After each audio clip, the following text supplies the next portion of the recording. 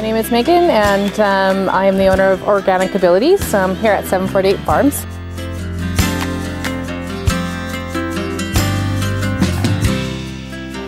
The goats were always in the forefront of my mind because I think goats are really calming. Um, as you know, as goofy and, and jumpy and stuff as they can be, um, I think they allow people to just be calm for a little while. Um, because in order for a goat to typically come to you, you have to be calm. If you're running around and you're being wild, um, they're not going to come to you. Um, and so it just allows that person to um, self-stimulate enough to be able to calm down.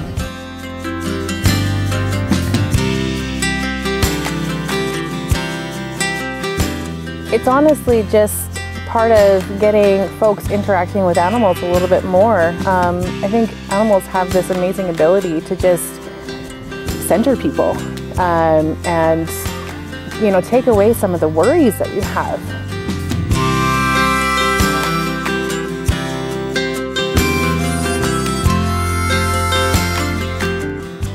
I, I mean, we always say it's about 20% yoga, 80% goats um, when you come to goat yoga, but um, it's so much more than that.